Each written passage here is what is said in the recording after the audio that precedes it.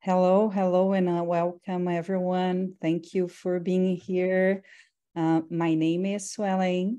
Um, welcome to our uh, Leadership Speak Speaker Series. Thank you all for being here again. The Global Leadership uh, Speaker Series is an initiative uh, from the Center for Global Partnerships and Learning and the Associated Dean's Office. This event will focus on a myriad of topics that impact leadership in the global space. And the events are from April to June. So we're uh, almost, uh, almost in the middle of uh, all our sessions. Before we start, I'd like to share uh, some information about our center. The Center for Global Partnerships and Learning provides GSEP students with various services ranging from publication support, certificate programs, access to the GSEP academic journal, uh, the Scholarship Without Borders, and a few other services such as cultural celebrations, info sessions, and workshops. Now, let me introduce you to our panel moderator, uh, Dr. Wena Shane. Dr. Wena Lee Shane is a third generation Korean descendant born and raised in, eh, raised in China. She immigrated to the US in 2012. She is a clinical assistant professor at the Graduate School of Education and Psychology at Pepperdine University. Her teaching and research including include learning, design, and technologies, language learning, international students, and leadership in teaching. Thank you, Dr. Chena, for being here and for accepting our invitation, for being our moderator today. Thank you, Solan. Um, so I guess it's my turn to introduce all the panelists. Uh, welcome everyone. Thank you for uh, being with us on a Tuesday night. It feels like a Monday, right? Um, thank you for being here and wanting to learn more global leadership perspectives from everyone. And I'm very honored to be invited as the moderator. Uh, and I do want to introduce everyone uh, according to their bios, but I want to give them a chance to introduce themselves uh, a little bit after my introduction. So um, I will start with Dr. Hania. Thank you for being here, Dr. Hania. So um, I'll read the bio. uh, Dr. Hania is an assistant professor in learning technologies at the Graduate School of Education Psychology at Pepperdine University. She has many years of experience designing, implementing, evaluating, and researching e-learning practices both in small and large-scale learning environments, such as MOOCs. Her research interests focus on humanizing education practices through digital transformation and innovative pedagogies to foster mastery learning for all learners. To achieve this goal, she examines user experience, instructional models, and learning behaviors in different online courses and e-learning platforms concerning learner differences. Her research has been published in well-known national and international journals, books, and conference proceedings such as uh, ACM, e-learning and digital media, Routledge, and IGI Global. Uh, and I will finish introducing our panelists first. I would like you to introduce uh, one by one after that. And we have Shada, uh, my previous student. so Shada is the founder of uh, Impartiality, I got that right. Sustainable consultancy. One of the first Saudis to manage end-to-end integration projects, EAI, for the Saudi Central Bank, with a focus on green strategies and initiatives, and the leader for the first Saudi financial inclusion study. A social entrepreneur who challenges the status quo for positive disruption and innovation. Welcome, Shada.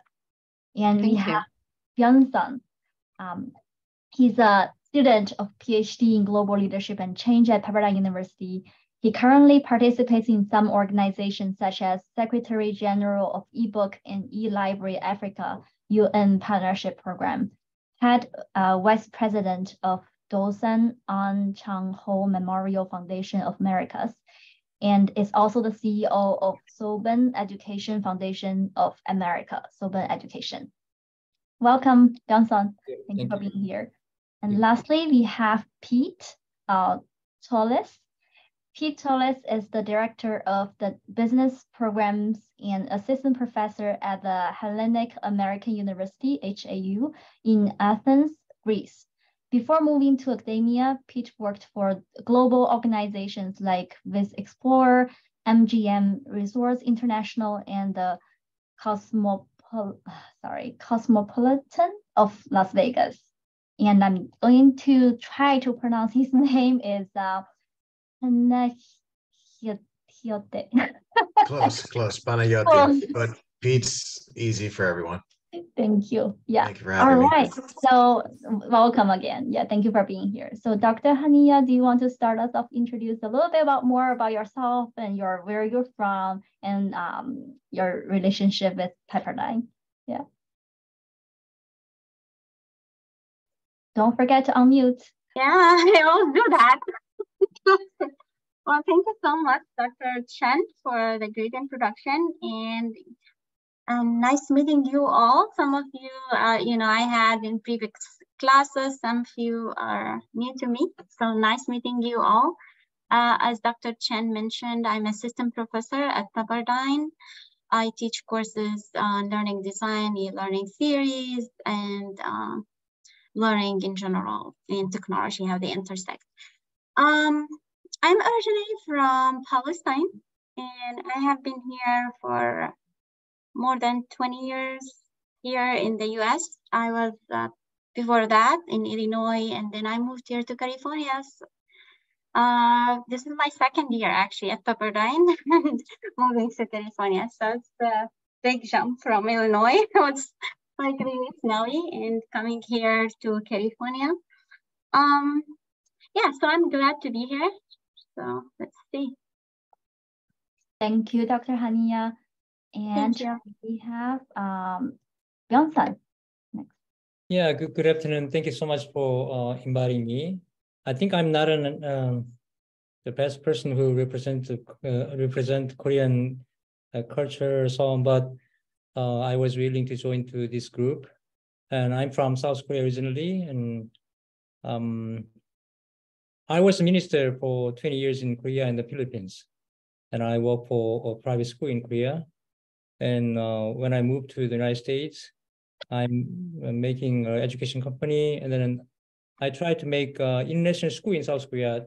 Actually, today I have some delegates from local government of South Korea uh, negotiating a polytechnic school um, associated with the Caltech in Pasadena. So I just uh, uh, uh, came here to sit here for like two hours, and I need to join again to the group. So uh, I'm enjoying um, studying at Pepperdine University. Typically, I mean, I have three professors here, Dr. Uh, Miramonte and Hania, and then Dr. Chen. I mean, uh, I I'm so busy, and then um, I'm on, only one Asian in my cohort, but uh, professors so encourage me typically, and then also I love my cohort members, my colleagues. They always encourage me to come together. So that's a very different uh, uh, environment of education in uh, compared to South Korea. So I enjoy and thank you so much for inviting me again. Thank you. Thank you so much, Byeonsan. And Shata. Um, hello, everyone. Um, I'll also start with thank you for the invite. Um, so uh, I'm uh, first, I'm almost done actually with my first year with the PhD with Pepperdine. Um, uh, so uh, I think you've already made the introduction, but I'll give you a little bit of a more about myself. So um, I was born actually in Seattle, Washington, and uh, we, I did my early year in in in America, and we moved back to Saudi. Um, so I, I I did my studies in Saudi. I worked um, uh, mainly in the IT and uh, innovation kind of industry, moving slowly to strategy uh, and uh, kind of global strategy, I would say, in terms of um, my interest, uh, which also led me to join Pepperdine. Um, I'm currently based uh, in UAE, Dubai, but I've been I think now I think I, I operate on maybe five time zones, including LA, New York, Riyadh, and Dubai right now. Uh, sometimes uh, is Singapore, so uh, and it's 4:30, actually 4:40, 4:45 a.m. where I am now. So just to keep in mind where which zone I'm working on. Uh, I'm I look forward to this session. Thank you so much, Shada. Thank you for letting us know what time zone you're at. I was gonna type like everyone should talk about their time zone. and thank you for being here this early. Yeah. Last but not least, Pete. Well, hi everyone. Good morning from me too. I'm in Athens, Greece, so it's 3:30 in the morning. I'm about an hour behind you. Uh, a little bit about me, quite a little similar uh, background. I grew up in Long Beach, California, to Greek parents. Uh, lived in Long Beach until my high school years, then I moved to Las Vegas. And while in Las Vegas, I went to UNLV for my undergraduate marketing and my MBA in the executive MBA program, but working through casinos.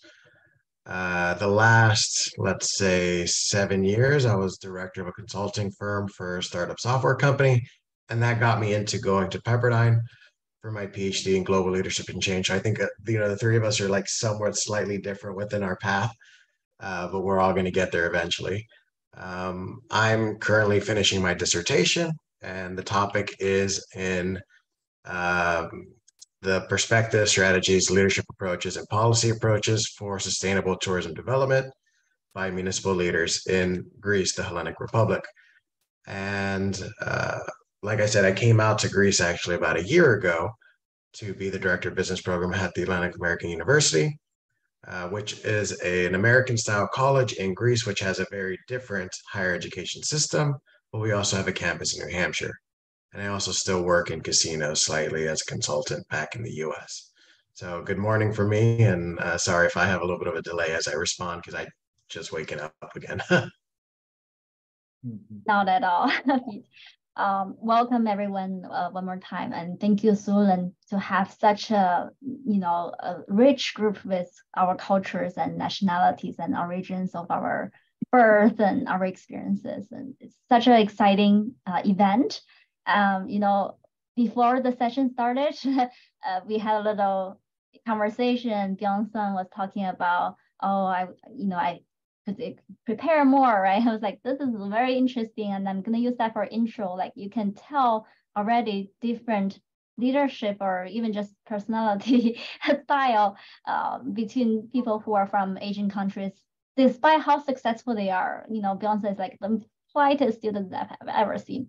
So cannot wait to hear more about uh, everyone and what you uh, would like to share uh, regarding today's topic. So let's start with our first question. Um, first question is, what are the main cultural differences you perceive between the US and your country? Especially now everyone's living in both cultures, uh, both countries. So that will be um, very interesting to hear. Uh, and for audience, if you have any questions, uh, feel free to put on the chat box um, as we go. Right. So we don't have any particular order. If you want to take that question, feel free to um, unmute and talk. Yeah.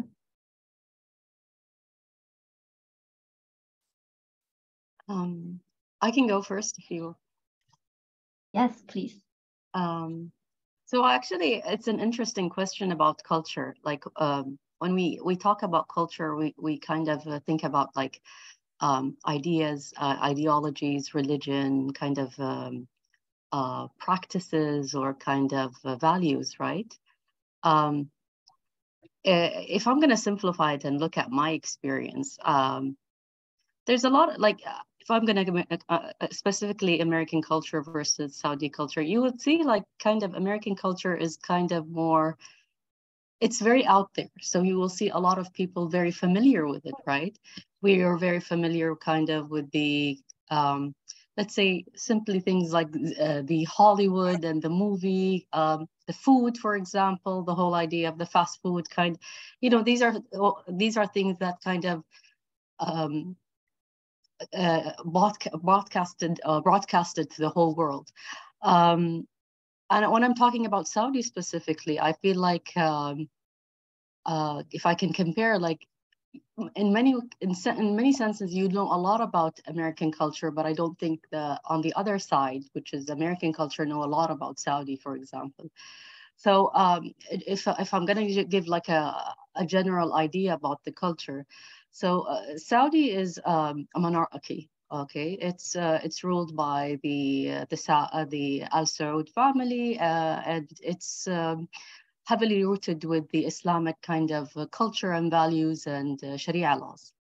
Uh, saying that, um, the recent years, uh, Saudi has gone through a transformational and reform uh, through the, uh, the new vision of the leadership. Um, how does that reflect on culture? Um, it, it is based on this very deep kind of pride and root of culture of Saudi culture, but it also kind of embodies or embraces this new kind of globalization and kind of uh, being out there and uh, um, in the forefront of, of the world. So when I'm so when I take uh, when I talk about today's culture, Saudi culture, I feel like there's a lot of um, uh, emphasis on sharing this culture and kind of um, uh, uh, putting it up front for, to everybody to see the real side the, rather than kind of the stereotype that you have been seeing throughout the years you know? Uh, and it's usually from one kind of sided kind of vision of uh, being kind of this oil kind of uh, uh, oil country that living in the desert or kind of riding camels now the image of Saudi a culture is about family. It's about um, uh, hospitality. It's about uh, leisure. It's about uh, the going back to nature. You you will no longer see the images of the sand. You're going to see mountains. You're going to see uh, snow. You're going to see uh, beaches. So uh, I think that's kind of um, this new kind of culture is emerging with the kind of exposure of this new kind of reform of what's happening in Saudi. Uh, and I'll give the chance to the next panelist to talk Thank about you, their side. Yeah. Mm-hmm. So I, I don't mind going next. Um, you know, growing up in the US and, you know, being an American, you kind of have a different definition of what is culture in the US, right? I think we have the privilege of choosing whichever culture we might have come from or who we associate with, right? You know, growing up in high school, I might have had a lot of Mexican friends, so I might have taken some from their culture. Uh, so, you know, in the US, we have that privilege of, of really having multiple cultures, but we do have a societal norm in, in the US, which is quite unique. Uh, one of the bigger things that I notice is more or less the degree of the family involvement between, let's say, the US and in Greece. So most of my, let's say, more of Americanized friends, uh, you know, you're 18, go off to college, go do your thing. And then in Greek culture, you know, you're maybe still very close to your family, even in your mid 30s and 40s. And we have that multi generational uh, family structure. And, you know, even myself, being an American, uh, you know, I always think, okay, well, what am I going to leave for my kids? Or, you know, I don't even have kids right now, but eventually, how do, well, you know, what is the generational uh, uh, thing we're going to offer them? And I think really that has helped this country with 14 years of economic crisis. You know, Greece lost 30% of GDP in 2010 and is still living through that. And you see uh, that in a lot of everyday families. But because, you know, let's say the kids move in with the grandparents, the grandparents help take care of the grandkids while the parents are away, and that family unity really does help. And it's important. You know, I some of my best friends are my second and third cousins, which in the US, most of my friends didn't even know their first cousins. Uh, and so just that extension of cousins and family and, and knowing that you might have the support system is is something it's not universally Greek because I see a lot of head shaking. Uh, you know, when we talk about the family dynamic, but you know, it's something that I think is very special. Uh, at least in, I would say in the Eastern Mediterranean, because for the most part, we're all pretty similar. Uh, you know, on the eastern side of the Mediterranean. Thank you so much, Pete. Yeah, can I go then? Yes, of course. Yeah. Um, when I think of culture, it was too broad for me to explain about Korean culture. So I think better I specify as an example and so on. So, so um, uh, basically, according to our history, our country has been had been called as uh, Eastern Kingdom of Courtesy. So polite, impolite matters are very important. So when you are impolite, then everything will be, gone, even though you have uh, fact and reality. But polite, impolite matter uh, uh, include everything. So, but uh, this is a transaction video, so the young generation they they do mean matter the courtesy courtesy, so they say what they want to say. But anyway, that's the basic of Korean culture, and uh, 24 hour culture. I think, yeah, maybe I want to specify that uh, 24 hour culture, restaurant, PC room, spa, or mart, or beverage store. So everywhere you can see 24 hour uh, mart and, and stores. Uh, it based on the safety in our country. So everywhere you can find that, that 24 hours, uh, the, the shop and, and thing. And then also very quick very quick. Uh, I wonder why the people uh, line up for three hours and four hours and, and the, the DMV when I come to the United States. In our country, even you don't need to wait more than five, five, five minutes in the uh, DMV or uh, airport, airport uh, processing less than five minutes. So we are we are not uh, familiar to waiting to wait like uh, one hour, two hours. That's not. So very quick and quick. Uh, even we deliver everything now in in uh, United States we deliver like pizza and so on, but like 50 years ago we deliver everything. Even you can deliver food at the park or beach.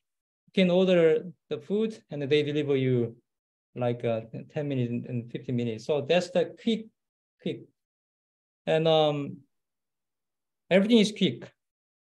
When I come to United States, I order like an internet system. Then I had uh, waited for like uh, two weeks, but not in Korea. Like uh, tomorrow or today, this afternoon, or tomorrow. And we have out of order of the internet. Then I call. Then we need to wait here like a few days, right, up to the technician come comes to to repair. But if the technician doesn't come today, this afternoon, we order, we quit, we uh, cancel the internet and then we, we order the next one. So that's that's the culture in, in South Korea. So, uh, and also um, custom oriented, custom oriented, all the, the public officers as a service provider. So every office, public office, you can see the picture of the officer and name of the officer. And when you feel uncomfortable on certain person, you just write a paper on that and then put in a box. Then the, the government will treat the officer. So uh, everything is customer oriented. And also we have passion on education, education, so much passion on education. So the birth rate is uh, 0.76 per per uh, I mean the couple because we don't provide the, the budget for the education child education. So that's the uh, user uh, culture and also public-based society, public-based society. So public bathroom, that's very unusual to, to Westerners, right? When you come to South Korea, you, you can take a bath with other people in a public public uh, bathroom. So public-based uh, society. And also we need to ask question to Dr. Reina, how old are you? that's very easy. So that's what, what I think uh, difference between the two countries. Yeah, thank you for the very interesting and very specific uh, points. Yeah, uh, I remember you can ask and it's all good to ask the age actually so you know to be polite or use the honorable forms or or not yeah all right dr hania Yeah, sure. So very interesting uh, responses. I was just uh, really uh, happy to hear all of these responses because some of these responses are actually relevant to my experience. Um, I grew up in Palestine, uh, in the Middle East. Uh, it's kind of like, yeah, sharing some uh, uh experiences with Shaza and Pete and Greece. Um, so for me, when I look at cultures and have like similar and different, I look at like uh, different aspects. So, you know, I remember like uh, the school, it's like, you know, my school experience is different than my kids' experience. I look at um, also the social lives, it's like similar and different. I look at uh, different aspects in you know in society that is really impacted us. Also economic and political relationship and all of these different kind of things. So for me what, what i remember from uh, my school experience uh, in my country it's like this school is like really overcrowded with different like children in the classroom. I was uh, also uh, you know the computer lab it was like really uh, we had like very very old devices for students to learn. Uh, we have like less opportunities to engage uh, in education uh, less resources and also a very uh, restricted time frame. So in the school i used to go to it uh, it was a un school. So it was operated by the united nations and it was like kind of has like three different shifts so we have like morning shifts, noon shifts, and afternoon shifts. So it just like all the day, like we have like divide the school system across uh, these uh, three different um, shifts. So um, yeah, I mean, so one of the things here, like it's really impacted me and, you know, let me focus more in education, my experience in the school. So it was like really very crowded, less resources, and i was always thinking how can like i help? What can i do when i grow up? You know how can i uh, innovate education while also make it more accessible and uh, for everyone wherever they are?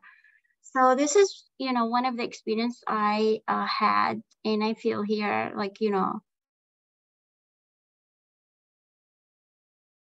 no matter what like you know the classroom still here we don't have like two school shifts or at least like in you know most of uh, the places. And um, another thing is when i think also about social life. Yeah so for me when uh, i grew up uh, you know there there was like people coming and go people come and go all the time.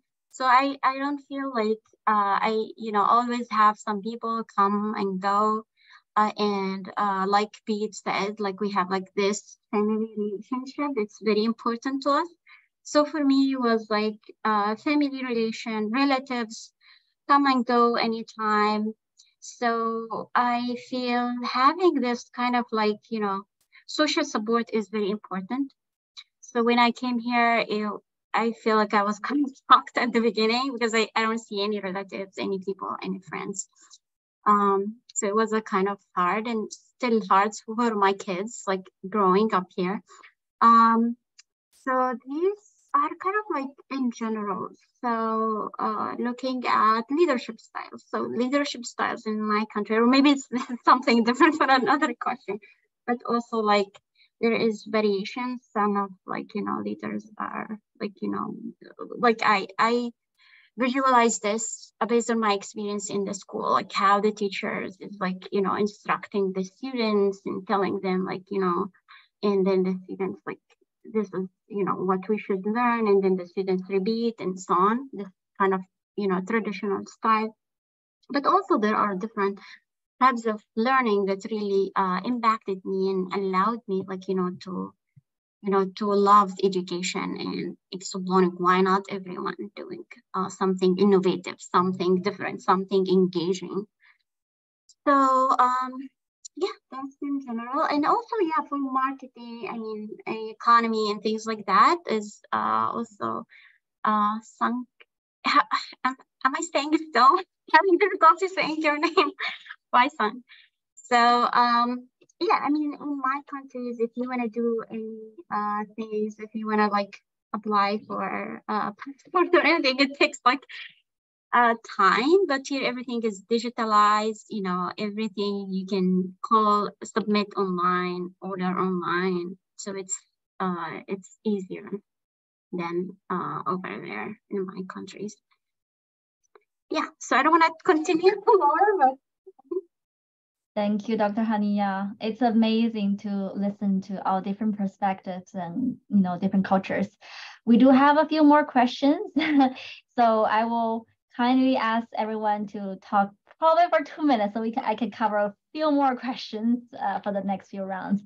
Um, but next one, I want to talk about leaders uh, between U.S. Uh, and uh, a different culture that you lived in. So, what are some culture, uh, not culture, some um, differences and similarities that you perceive uh, between the leaders in your country and in the U.S.? Okay. Hmm.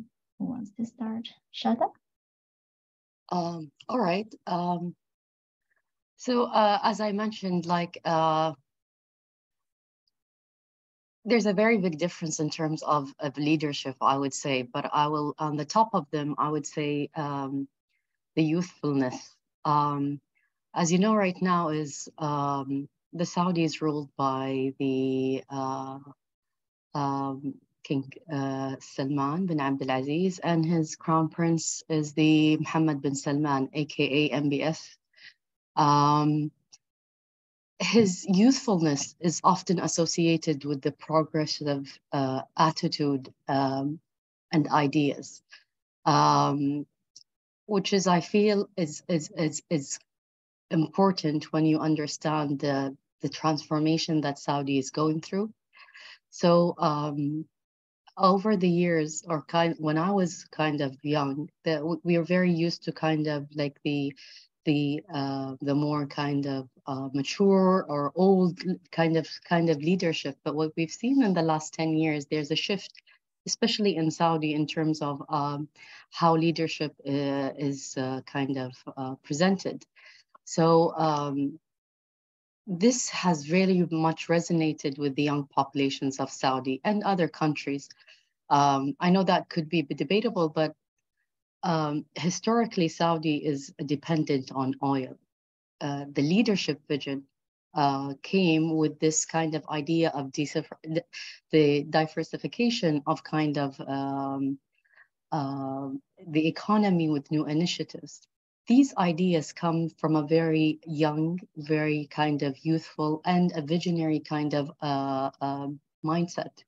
Uh, and this is what I can say about the, the Saudi leadership at the moment. Um, some of these, uh, I, I, mean, we're, I, am going to talk specifically on uh, going back to the youth and why is this is important.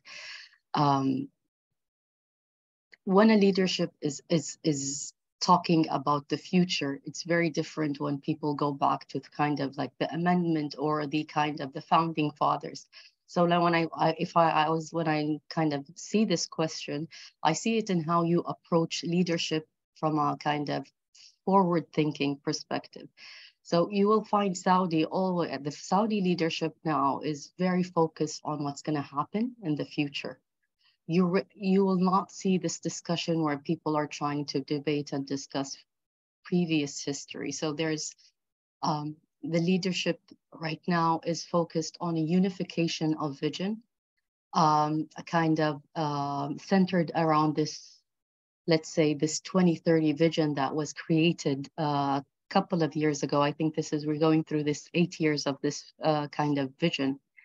And if you, this kind of uh, unified the language and kind of perspective of everybody who talks about Saudi, being if it's a governmental, non-governmental, commercial, even in school, kids, when they talk with each other, they now have kind of a common, uh, uh, let's say, dialogue about where they see themselves. And this is the power of leadership. This is the impact of leadership. And this is what I can say that distinguish what's going on right now is the ability that that kind of power and leadership can affect the younger generation and the way they approach kind of um, their uh, their future. Um, like if you talk now to kids in the school, is like, um, yeah, I'm doing, for example, this uh, this sport, uh, and hopefully, and this kind of relates to this part of the vision and i'm gonna i see myself at that part working in this kind of uh, um, uh, industry or kind of I'm going to be more involved in sport because in Vision 2030 we are supposed to reach this kind of level of sport and this is where I see this is how people embed themselves within that vision. So I think that the strength of this kind of um, uh, style is the ability for the individual to see themselves within that kind of leadership. Um, you um, it's a bit of a different where you feel like um, it's kind of um, uh, this is the let's it's it, i mean it's not only the idea of being centralized but also the involvement of the people is very important. And this is what we see the big shift and change. Um, um, I want to add to, uh, in terms of leadership, like the Crown Prince, for example, implemented several social reforms to improve the human rights, for example, the freedom of the young generation. And this is very important when we talk also about this leadership that, that um, resurfaced recently. Um, um, women are now in the forefront in terms of uh, getting their uh, of rights and involvement and inclusion. And we're not talking about these superficial kind of wishy-washy kind of solution where you kind of tick the numbers within a committee just to add a woman. It, it, it's it's it's very important to look at these numbers in terms of also effectiveness. Are they in the leadership? Are they taking a leadership role? Are they taking a more senior involved? Uh, are they really involved in these decision making? Um, when I started, for example, working, uh, it, this was not part, this was before all of these reforms, but I would say in terms of empowerment, there was always empowerment in, in terms of freedom and support uh, that um, and how that support looks like. This is what have changed today.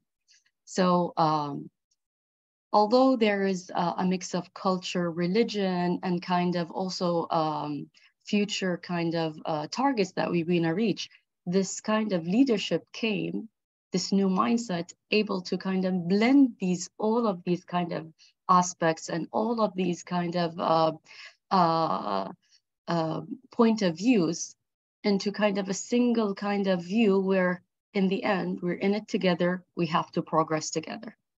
Um, and just to give you an example, like I was in Saudi uh, uh, last month, um, and i'm just amazed how these young generation so feels so empowered and, and happy. Like you can see people's like if you go and see those 13 14 year old kids they all have the pictures of the of the leaders. This this is not something that common you see. Like when i was growing up are people putting the the pictures on their cars?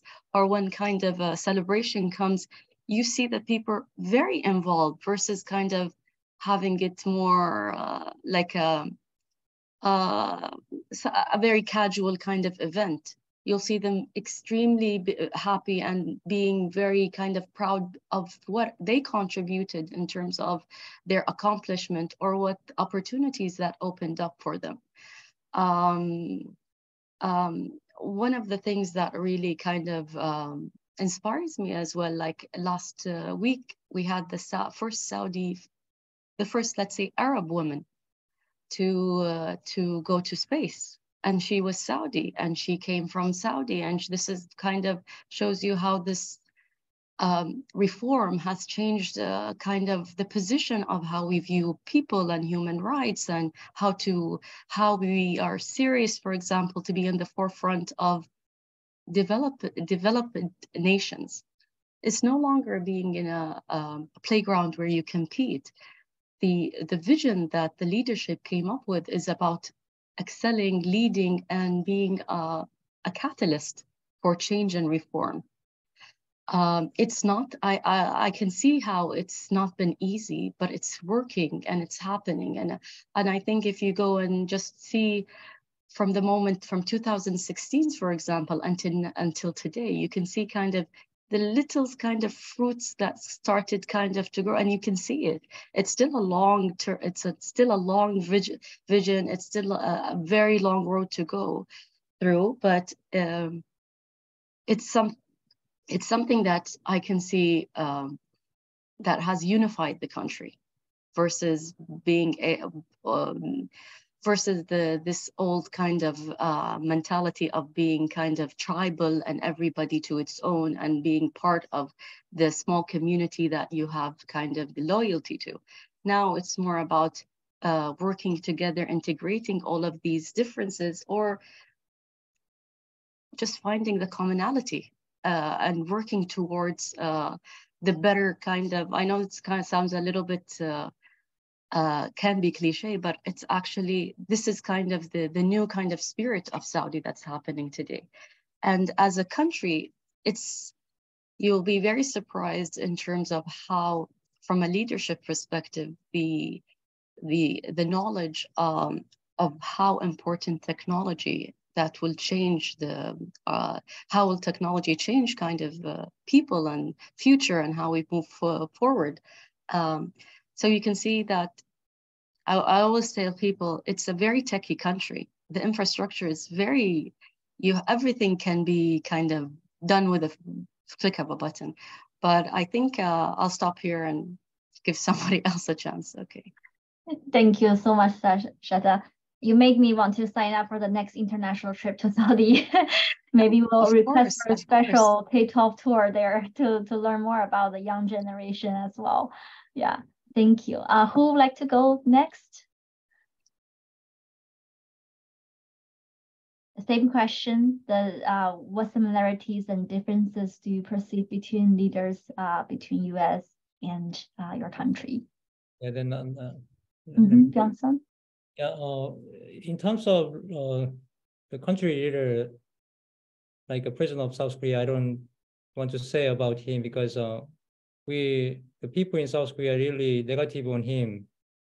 His uh, presidency and his directions or strategies moving the country, uh, especially between the big countries like uh, China and then uh, Russia and Japan and the United States. So uh, mostly we, we Korean people don't like uh, his strategy and his position.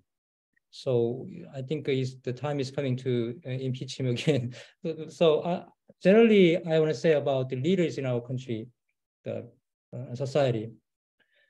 as you know, the Korean society is based on the hierarchical structure, which comes from the Confucianism from China for long, like a thousand years ago. So leadership is only the position, which means uh, uh, the leaders do not need to respect the characteristics or personalities of the members. Just to not need to persuade, but top-down order to the members. That's the leaders in, in South Korea, typically. And leaders have the controlling power and also members listen to the order and follow the, order. It seems that the task-oriented leadership uh, prevailing in, in, in, in our country. So if you have a productive product and result, you are a good leader. If not, you're not a good leader. So, so that, that is very different from the, what we see the leadership or leader in, in the United States. So this is the transaction period. So we try to change the, the concept of the leadership in Korea, but still, still that's the, the basic concept of uh, leadership in South Korea. Similarly, maybe the leaders in Korea and the United States, they both concerning their personal inter interest, even though they are working for public. So that might be a similarity too. Thank you. Thank you, Byung-sun. Um, I can mm-hmm. I can go next or yeah so thank you uh, for sharing your opinions and uh, about leadership and how it's like similar and different So um, I also have kind of like similar uh, ideas, but for me also when I think of leadership, I think of like I feel like each one of us uh, is a leader in some way. Like um, so that's my daughter. She wants to say hi. Hi. So Nadine is leader, for example, because she makes the decision that she needs to finish her homework on time and she needs to have like a specific time to play. So I think each of us has uh, uh, like, you know, a sense of leadership because leadership is more about like uh, making decisions. Uh, being responsible, having, being accountable of the things that they want to do, guided by someone like maybe more facilitator could be like a parent because uh, a mom or a dad can be a leader in their homes. How they uh, manage uh, the relationship with their children. Uh, also beyond that the school teacher uh, the you know the principal in a school. So each one of these experiences that uh, the students or like you know all of us has been involved in from whether we've been like in different cultures for me being in different cultures. The way how i viewed people making decisions uh, deciding on different things and how they manage different responsibilities uh, have impacted me in some way.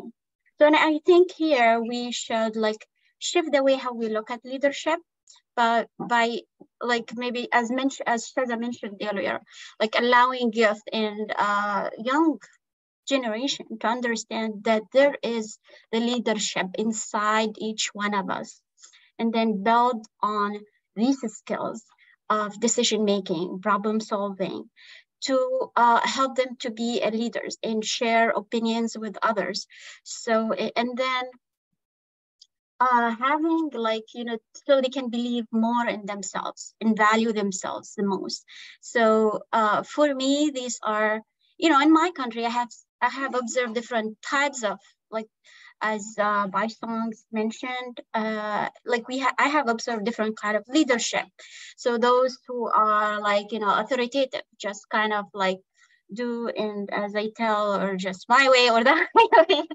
Others who can like tell you like I I value your decision, your thoughts, and why do you think so, and why not try and making mistakes and all of these kind of things.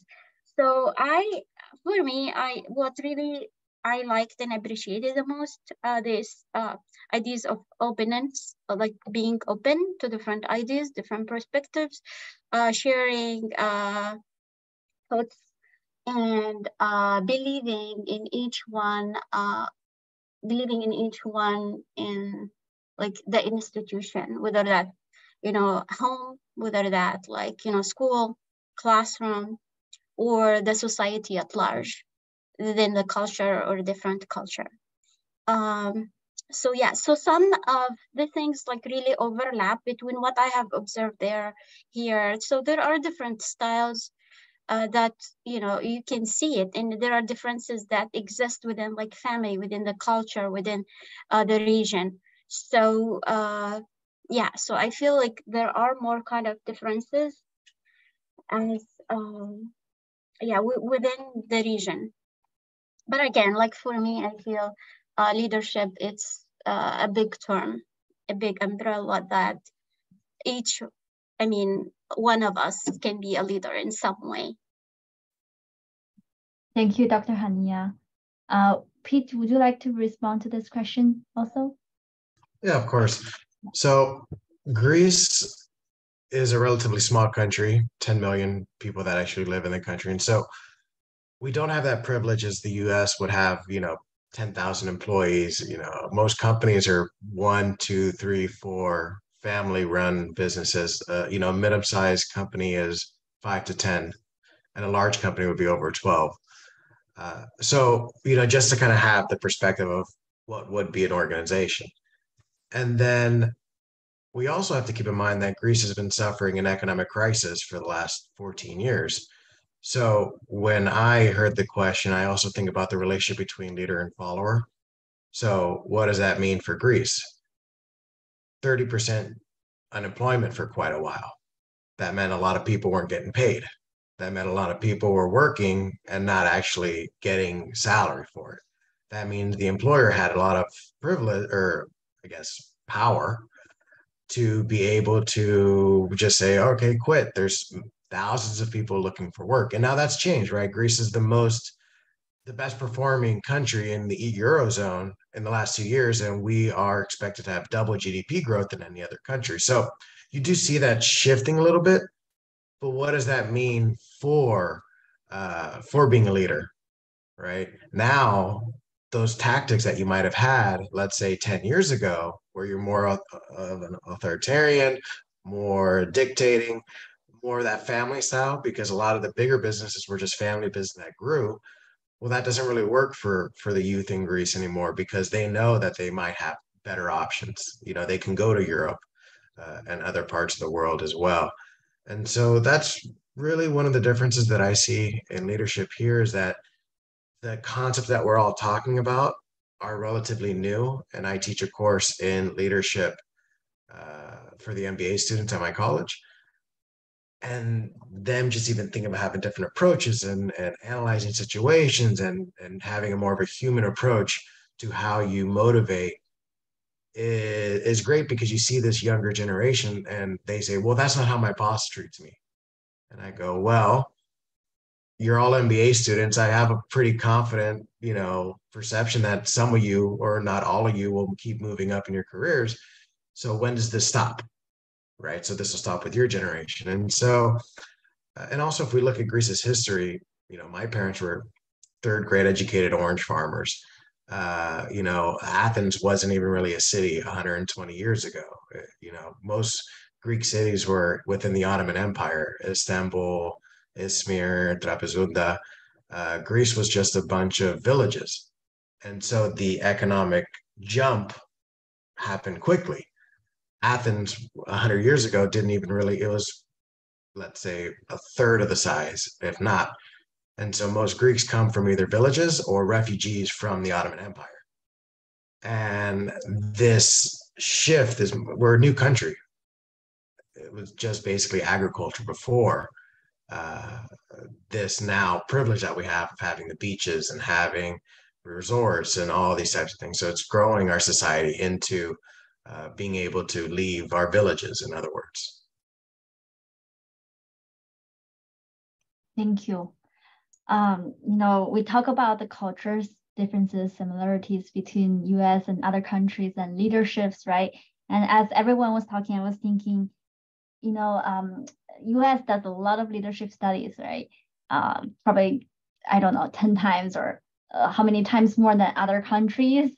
Uh, and one of the reasons can be the culture, uh, well, it must be culture related, but I'm just thinking like, for example, compare Asian cultures, the more um, almost like submissive uh, mentality in work situation, the hierarchical structure that Johnson was talking about, and versus in the US, the you know, individualization and we advocate, right, for, um, we have a union. In China, we have union too, but they don't really advocate for workers. So because of all the infrastructure of the culture, uh, then uh, that's why like we have to study leadership because you cannot per se control your employees because we are very individualized uh, citizens in the U.S. And I just found that's very interesting um, between China, uh, U.S. and other cultures. So we are going to move to the next question. Uh, it's global leadership. So we talk about culture and leaders in general, but now as global leaders, uh, what do you think, um, uh, based on your international, multiple international experience that, that you might have, so what would you like to say to a global leader? What would you recommend them? Um, any suggestions for people who would consider themselves as global leaders or any other uh, global leaders that you per uh, you see right now?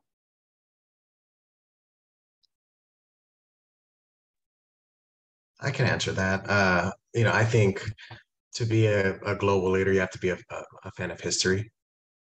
I, I can't go into a country and and work in that environment without having some sort of historical uh, curiosity to to how the people got to how they are. You know, in the U.S. we have that kind of I even have that when I came here to Greece and I saw a lot of inefficiencies and I wanted to fix things and and I had to take a step back and say, well, why are people working in this specific way? What are the historical situations that led us down this path? And and how does let's say religion play into into what we're doing? How does family tie? How does everything? And so, you know, I think to be a good global leader, you have a have to have a high acumen of history, psychology, economics, and uh, what else? Just business acumen, I guess. But I think you know history and psychology uh, are two of the biggest and most important things when it comes to being a global leader. Thank you, Pete. That's very well said. And Shata, please. Um, that's um, uh, that's very interesting. As you as you were talking, uh, I'm playing in my head this idea about uh, playing with nationalism and globalization.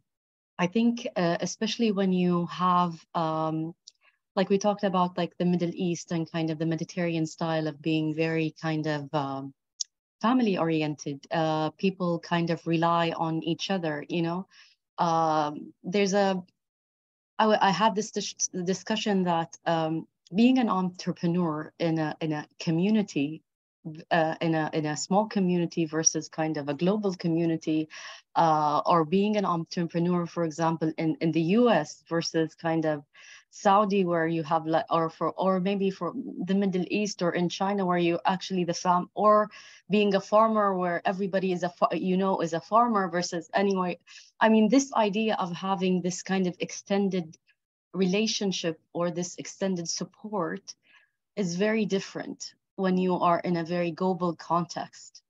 Um, that means you have to kind of reset your brain into terms of what works uh, locally versus globally, um, uh, which is sometimes using your culture and religion and probably your values, your family values works in some areas of the world versus if you take that somewhere else, it's going to be more like a fairy tale or kind of a let's say a, a fiction uh, a fiction story that you're trying to implement that will never work you know what i mean?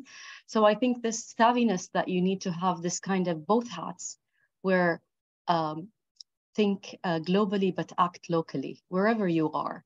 Uh, i feel that's that's a very important if you want to approach kind of leadership in general.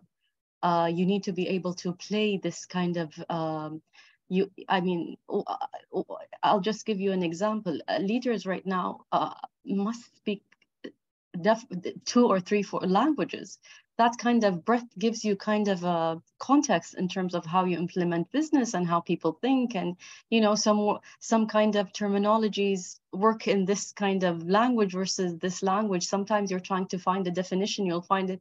So i feel it's very uh, i mean i will kind of echo uh, what my colleagues here said, but education definitely, uh, a, a, very extensive knowledge of history and people, um, putting yourself there. I think it's very important uh, to be um, not to be in a place of just uh, observer, but also kind of integrate yourself to see what's going happening on the ground. Um, and, uh, and just to reflect uh, on my experience, um, there's a lot of segregation uh, growing up having this uh, kind of uh, male dominated society in Saudi. So there's a lot of times that uh, explaining a situation in a very female oriented context might not kind of reach that other side, which is the male. And today, when I try to explain our kind of issues that we had, let's say 20 years ago, nobody understand because they didn't live that context, even if it's, if it's the same society. Um, so that's that's kind of uh, my advice in terms of having this um, this this global mindset with a local kind of impact. It's very important to move forward um, in any kind of leadership or managerial roles. Thank you so much, Shata. Yeah, I, was I was trying to type type in the chat box. Uh, you know, leadership is evolving too, right? As our culture is also evolving and blending into each other's cultures as well. Um, so, uh, would like to go next? Byung-sun? Yes. yeah, I've been working in education field in Korea, in the Philippines, and the United States for more than 20 years. And typically, I had a five-year experience in the Philippines as an educator or trainer for young people. And from my international perspectives and experience, I think I can uh, say to the global leaders to concern more about the, the issues of the third countries, especially. For example, there are lots of spots where there's no uh, like a public education system, no electric, no telephone system, no internet. Yeah, so when when I was in the Philippines, I fly from Manila to certain island and use two hours bus and jeepney. There's no more transportation. Then I rode a horse. And if, I reach up to the hill, there's nothing. But there are a lot of children. So I think uh, uh, global leaders should concern more about the issues, issues of the third countries and in their specific professional areas. I don't know their, their areas, but uh, specific their own uh, uh, areas, they should concern on that the issues of third countries in Africa or any any other countries. That's my, my concern. Thank you. Thank you, Byung-sun. And um, I can go next. Yeah, I can go next. Oh, well, thank you. That's a good question. So yeah, I mean, when I think about the global leaders, as uh, you know, um, some others has mentioned, uh, it's yeah, it's like if you want to go somewhere and you, you should understand uh, the culture, you should understand how people think. So I, I mean, I think of this as as a learning designer, the need assessment work, where you need to understand, um, you know, you need to work as uh, kind of like a researcher, analyze this culture, understand the people that you're gonna work with, uh, the employees, what uh, you know, what really uh, matters to them the most, and how you can uh, make them more active, more engaged, more valued uh, in uh, this specific context or within the relationship that you are, uh, you know, that uh, characterizes a specific uh, relationship in this organization. So, and also be open-minded because sometimes there are some cultural differences that, you know, as a global leader that you may not aware of or maybe you don't like or something. Uh, so I, I think here, uh, yeah, being open-minded and respect cultural understanding, uh, the the cultural differences and being, uh, you know, develop more sense of understanding of what they value, for example, how they, uh, you know, what really matters to them the most. It's it's really important. And one of the things, and I, I think uh, this couples that is really helpful for this is being active listeners. So sometimes, yeah, this might take time, but just being active listeners, having uh, sessions and like going to the culture, understanding, just observing, listening to the people and um, that you will work with and uh, having different sessions and uh, just to allow them to share their thoughts and ideas. And also, um, you know, as the global leaders, things that change in our society. So things that change so fast. And for us as global leaders, we should be able to adapt at the same pace. So always you need to be uh, an ongoing learners knowing what's happening and how you can adapt. Different things we hear in the news comes and go, uh, different um, that impact the society, different societies. Um, so yeah, I mean, for us as a global reader, we should be aware of all what's happening, what's going on in these different cultures, and how these uh, situation or how these like unexpected situation might impact uh, the employees, might impact uh, the people that you work with. So uh, so that's what one of the things. So I, for me, I feel like you have to be always uh, investigator, researcher, evaluator, open-minded, active listeners, all of these different kind of things, and uh, always try to know what's happening and how, you know, you can tackle these changes into your own leadership practices. Uh, and listen, have kind of like uh, feedback loop, ongoing feedback to see what works, what doesn't work. It's okay to make mistakes and things doesn't work, but we should build on you know what we do and how can we improve on the go. So that's all. Thank you so much. Yeah, I've heard people talking about very concrete suggestions such as have skills in psychology, have knowledge in history, have language skills, right? Because languages are the window to cultures. We talk about act think globally, act locally, and forward thinking, always thinking about the future, not what has happened. And we also have, you know, um, Dr. Hania mentioned the open mindset and active listening, all those leadership strategies that are needed, both a leader, but, you know, of course, as a global leader as well. So, uh, so many points that everyone mentioned, a very rich conversation. So I'm going to open uh, this time for questions. Uh, we have one question from Sulan first. Do you want to ask or do you want me to read the, the question? Yeah, I, I, can ask uh, because they are kind of the same question, so I can kind of elaborate. So first of all, uh, thank you so much for sharing this experience. I literally took four pages notes from all the knowledge I acquired from you because it's it's kind of a lecture for me, you know, listen to you, all the differences and similarities and cultural aspects this is the richness of this kind of panel. So um, considering so many different leadership styles, um, I, I, I, wonder if there is any tendency trend that might be something uh, that will become maybe a point of convergency for all those leaders in the future. Uh, just to to give you an example, for example, Shata and Dr. Sama both mentioned about the open mindset to be more useful, more open to different culture uh, in the new leaders.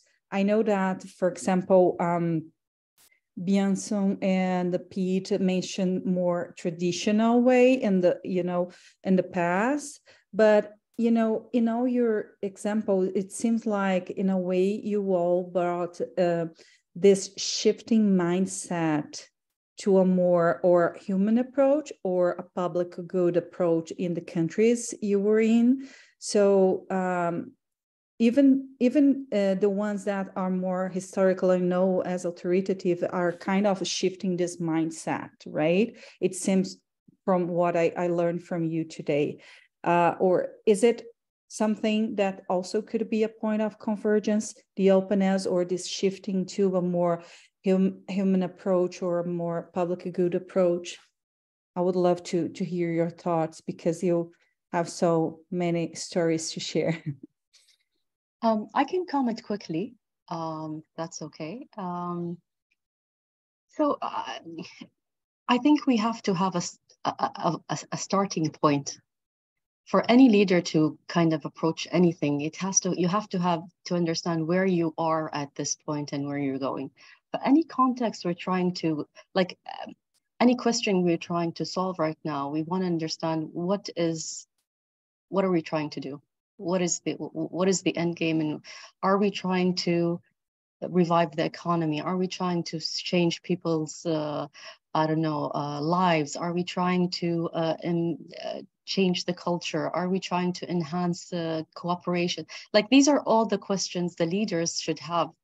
And I think we ha you have to give grace to each of these questions to allow it to foster and understand where you can where you can implement these changes. Um, it's also very important to understand that not all changes have to be uh, executed as once. This open mindset is very good, but also in terms of execution, you have to prioritize. Um, not, not. I mean, this is how probably I see it. It's not about uh, necessity sometimes. It's about building on them, on each of these kind of changes. Sometimes you can um, execute one um, um, despite needing some other priority, but this is what you can work on right now, and this what can build right now on the other, for example, chain.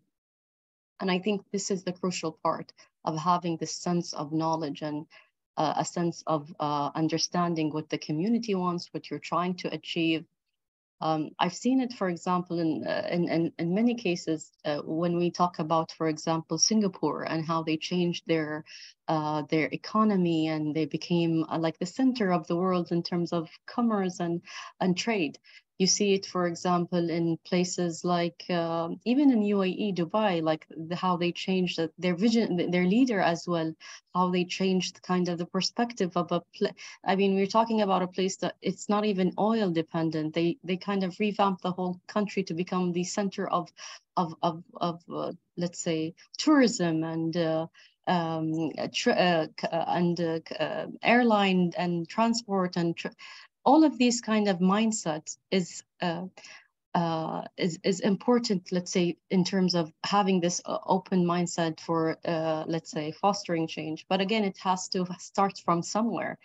Um, not everybody has this ability to kind of visualize, but as a leader, you need to kind of value them and understand where they fit in and how they see themselves useful in that situation. They might not experience or understand it now, but as you take them through it, they will see it in the future, how they contributed. And I think this is very crucial when we look at leaders. Um, these some leaders who who can see something you haven't seen yet, or they can actually imagine what the possibilities are versus your uh, versus what somebody is stuck in terms of trying to finish the tasks of the day. Um, this is where I feel like it's very crucial to kind of um, understand that leadership is different, but it's also crucial for the movement of, of, of, of nations, of societies. Uh, trust, I don't think we discussed this, the, the, the, the concept of trust in leadership. How do you, I mean, we are in a very, I would say, at this point, nothing is can be hidden. Everything is written. Everything everything is. Uh, uh, you used to kind of wait for the news in the evening to see what's happening. Now you'll probably see the pictures or people posting of something before the news even uh, reach. So this this is also um, uh, a realization that you cannot hide things anymore, you cannot mask things anymore. It has to be uh, brutally kind of transparent at this point of time. Uh, you can't hide things, you have to be very kind of uh, respectful of the global uh, uh, dialogue or the terminology in terms of human rights, in terms of transparency, in terms of uh, global problems like climate change, these are things that you need to be equipped and understanding and accepting, and you need to be part of it. Uh, what we've seen the last couple of years, especially with all this, uh, um, I mean, coming out of the pandemic, we see that we're in this together. People have to communicate, and like when the when the world stopped, we all felt it. I don't know. I don't care where you are. Everybody, everybody says felt like the whole idea of movement became we became paralyzed. We really realized how very dependent we are on each other. Whether you're in the us or you're in china or you're in the, europe you know what i mean? So this kind of uh, this new reality of, of leadership uh, it's not only it, it, must you it has to start from somewhere and understanding where we are at today and where we want to be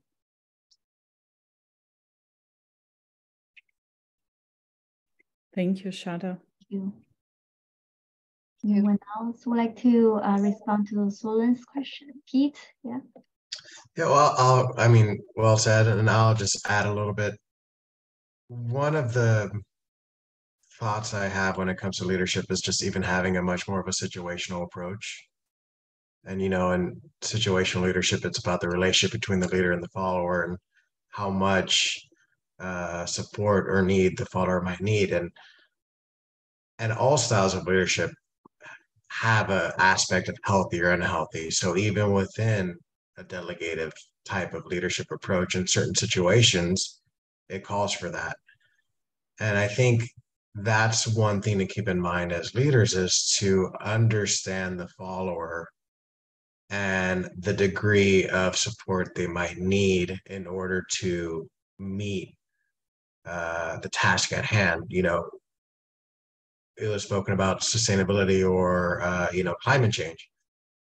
There's billions of people that don't have food and water, and I'm pretty sure they don't care about recycling plastics when they don't have anything to eat. Uh, so you know, okay, well, how do we get that to a specific level of sustainability? That way, we could, you know, start attacking climate change differently, or um, you know, people might be disenfranchised by historical situations over the past generation or two. Well, how do we rectify that or at least bring people together? Because one of the things that I got from our panel discussion is that I think we're far more similar than we're different. Uh, and I think that's a human component that we often forget about uh, the similarities within everything uh, and, and within just people in general. And so I think having those types of mindsets, because you know, I tell this to my students, there's there's two things in the world. There's control and influence. The degrees of control on someone else is minuscule. Even if I have a gun to your head, I still can't really control you. But uh, I have degrees of influence over you. The only person I can control is myself. And so understanding what your degrees of control and influence are could ideally help you be much more uh, dangerous, I guess, you know, dangerous in a good way.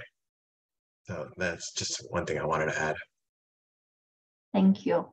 I like that. We are very different, but also very similar. In the US, you know, we are analyzing what are the difference between us and, you know, your country, but under the US context, everybody is different, right? And in the China context, let's say everybody is still different. In Pepperdine, everyone's different. In GSEP, everyone's still different. So at the end, it's it's the same. It's the same question like how do we be a leader despite our cultural differences with considering the context. Yeah. Yeah, that approach might be a Greek thing. Like mm-hmm. everyone that I know, I try to find the similarities between us Mm-hmm. Uh, you know, in, in, college, most of my friends were either Balkan or, you know, from the Caucasus because of historical similarities between us, or Middle Eastern because of historical similarities between Greeks and, you know, Middle Eastern people. So it could be just a very Greek mentality of trying to find the similarities uh, between between people, but I, I find it to be very helpful because you know it goes into that you know maybe even learning parts of somebody's language or whatever it could be just to kind of build that bridge. Yeah, and going back to your situational leadership, it's like the other way around, right? It's still the same, no matter it, how similar we are, still uh, in different situations, uh, different leadership and considerations are still being needed. Yeah, thank you. Uh, do we have another question? From Marie, Dr. Rami, Dr. Marmontes, and uh, Dr. Green.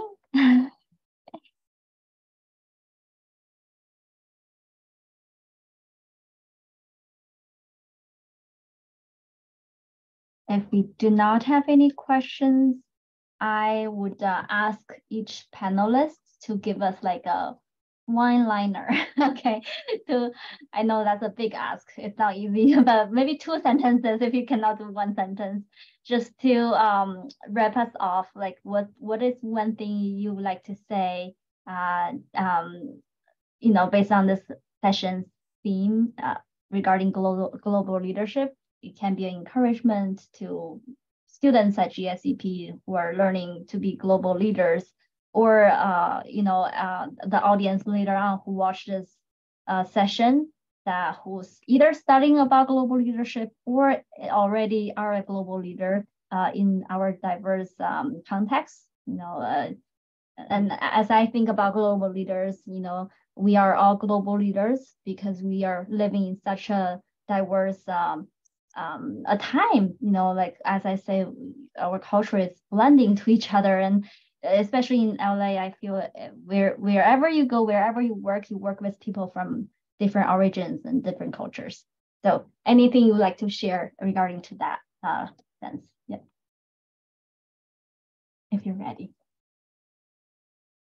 Yeah, since we are talking about the global global leaders and culture, I wanna mention about the cultural perspective, like Dr. Hania and many uh, other panelists mentioned about it. And then in the history, some global leaders destroyed the culture of the some part, right, of the part in the globe. So I think as global leaders, we should respect uh, cultures of other nations and other other countries. I, I think that's very important thing. And thank you so much for for this opportunity giving me participating this uh, uh, discussion today. Thank you. Yeah, also uh, following up with uh, what Faisal uh, mentioned, I think when we think of leadership, uh, we should uh, understand and listen to the people uh, themselves who are involved, like, you know, the staff, employees who work uh, in, or uh, deal with you in this specific organization because as we mentioned there is a variation that exists within the culture although there are some like uh, generic uh, characteristics that specify specific culture but there are also uh, you know differentiation that exists within a culture so listen to the people themselves. And sometimes the information in the internet or news is misleading. So uh, the best source is the people themselves, listening to the employee, the people within organization. And, and in addition to this, like, you know, being active and listeners and open-minded, um, having open-minded. Um, and also, I think it's really important to uh, be a role model. So each one of us, like as a global leaders, be a role models and treat others the way you would like to be treated. Thinking of yourself, putting yourself in somebody else's shoes and think, how would I react if, you know, by this, this, so and so. So it's it's really important to flip, you know, the page and see how would you react if you are in such situations. Um, so to think beyond um, what your uh, role and also to think from uh, you know the way how these employees thinking like how they're thinking uh, and what can you do to make them uh, more engaged more active based on other understanding? Okay my sentence is over. Thank you dr hania.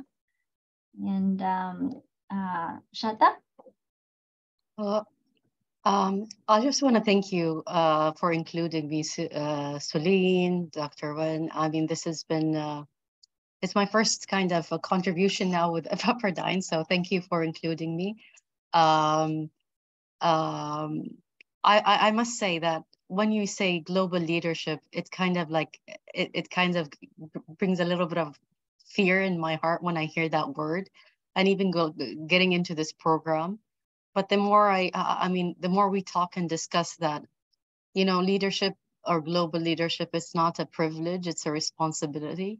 Um, we need to start looking at it as now that we're not kind of, yeah, just having this knowledge or having this kind of um, um, platform is actually a responsibility. And I take it, um, I wouldn't say seriously to the point, but I really take it seriously to the point uh, that I'm uh, I really want to be uh, able to kind of share this knowledge. And um, just through this experience, through Pepperdine, and even talking, uh, I would say, especially after the, the pandemic, we started having these open dialogue about connectiveness and uh, sharing and just realizing how much we need each other.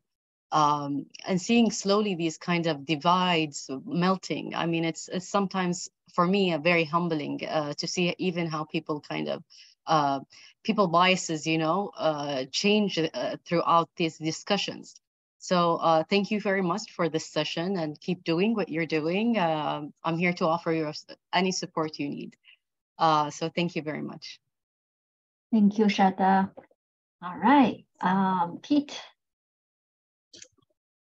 I second that on thank you for inviting me and you know all of us to to even just to get to meet each other because we're all three I think most of us are all students in the same program but different cohorts. And so it's good to connect even in that way.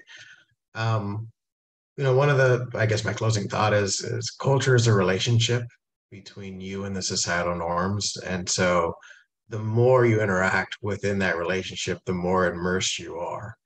Uh, and depending on how much degree of uh, influence you receive from that culture or even you put in you, know, you could uh, influence the other culture in some way at least to the people in your surrounding. and so you know nurture those relationships and and eventually i think we'll all get to like a, a very good place and uh, all i just have to add all of the countries that were represented palestine south korea saudi and even uae are places that I've wanted to go. So hopefully I can go and visit those cultures and be a little bit more immersed in them as well. Please Thank do. So You're much. always welcome. Yes. And you guys are welcome. welcome to Greece, but not this early in the morning. wow, thank you everyone. Uh, you know, based on Sulan's notes, probably we'll have a lot of wonderful quotes from all of you uh, panelists. So uh, I just want to thank you all. Um, regard, uh, I guess, um, how to say, representing the audience. I want to thank you all and give you a big round of applause virtually. thank you for your time and especially those who are in the early mornings right now. And I will pass the time back to Sulan. Thank you, Dr. Shane. Thank you, every and each one of you for being here with us today. Um, I, I, I, I do have a lot of quotes, amazing quotes from you all. And um, wow, I, I don't have words to say how um, impressive I impressed I am with all the, the things that I learned today. Um, and that's it. I think we can go ahead and close the session for tonight. I'll stop uh, recording.